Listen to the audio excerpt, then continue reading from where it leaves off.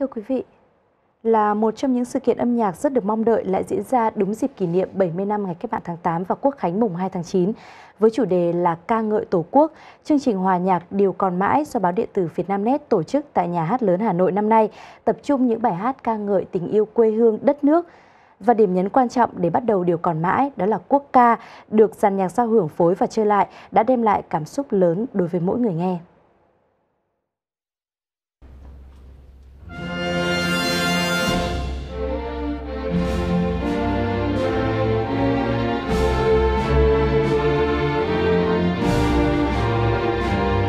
Đúng 2 giờ chiều, trong không khí trang nghiêm, màn quốc ca Việt Nam được thể hiện bởi dàn nhạc giao hưởng Việt Nam đã đem đến giây phút thiêng liêng, lắng động, tôn vinh lòng tự hào, tự tôn dân tộc.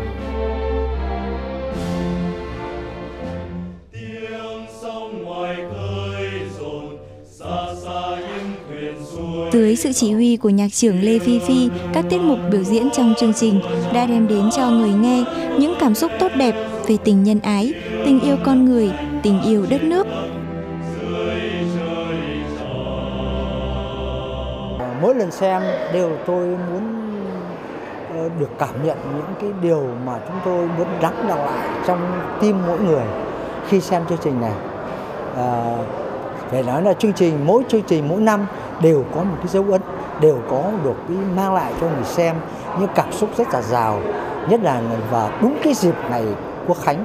Ờ, từ khi có chương trình này mọi người rất là trông đợi uh, chương trình được uh, diễn ra và cũng rất vui được uh, hòa chung tiếng hát của mình trong một cái ngày vui của đất nước. Uh, có lẽ là năm nay thì đặc biệt hơn là 70 năm dù là đứng trên sân khấu của Điều Còn Mãi nhiều lần thế nhưng lần này cũng không khỏi có những cái sự uh, xúc động hồi hộp vì với một cái sự kiện uh, tròn 70 năm như, như ngày hôm nay. Thay vì chia chương trình làm hai phần khí nhạc và thanh nhạc như năm lần tổ chức trước, Điều còn mãi 2015 đã trình diễn xen kẽ các tác phẩm khí nhạc và thanh nhạc. Và điểm đáng chú ý của chương trình là ở việc tìm lại những giá trị cũ, tưởng như đã bị bỏ quên hoặc rất ít có cơ hội thể hiện trên sân khấu âm nhạc. Các tiết mục như sự hội tụ của âm nhạc và xuyên suốt chiều dài 70 năm qua kể từ khi giành độc lập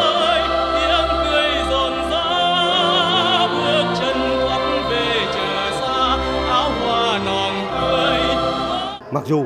đấy là những bài hát đã được nghe, đã được biểu diễn nhiều lần, nhưng mà nó cất lên đúng thời điểm, đúng thời khắc của dân tộc. Vì thế cho nên là hiệu ứng xã hội của nó rất là tốt, đã lan tỏa hết sức mạnh mẽ trong đông đảo công chúng Việt Nam. Diễn ra vào thời khắc lịch sử là khi cả nước kỷ niệm ngày Chủ tịch Hồ Chí Minh đọc bản tuyên ngôn độc lập hay sinh ra nước Việt Nam